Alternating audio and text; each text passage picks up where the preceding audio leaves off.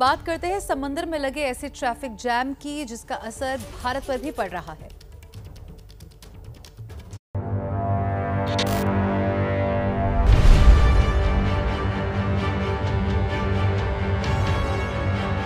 दिल्ली से 4,300 किलोमीटर दूर इस तस्वीर का असर सीधा आपकी जेब पर पड़ रहा है।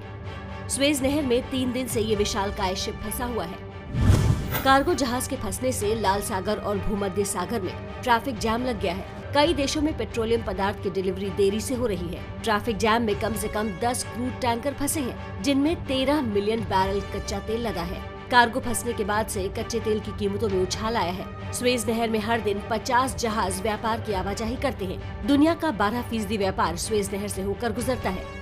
काफ़ी मशक्कत के बाद भी जहाज़ फंसा हुआ है और बताया जा रहा है कि इसको निकालने में दो से तीन दिन और लग सकते हैं। इस समस्या से निपटने के लिए अगर कोई दूसरा रूट पकड़ा भी जाता है तो फिर मिडिल ईस्ट यूरोप की यात्रा में पंद्रह दिन और देरी हो जाएगी। न पाबंदी हो, न कोई हद हो।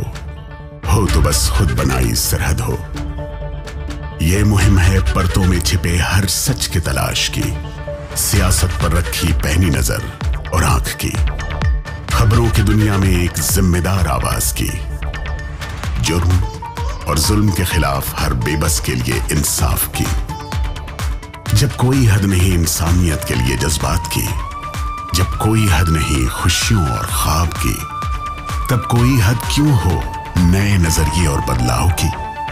तोड़ के हदों के ताले, नए सपनों को पाले बांधे सबको एक धागे। आपको रखे आगे। ABP news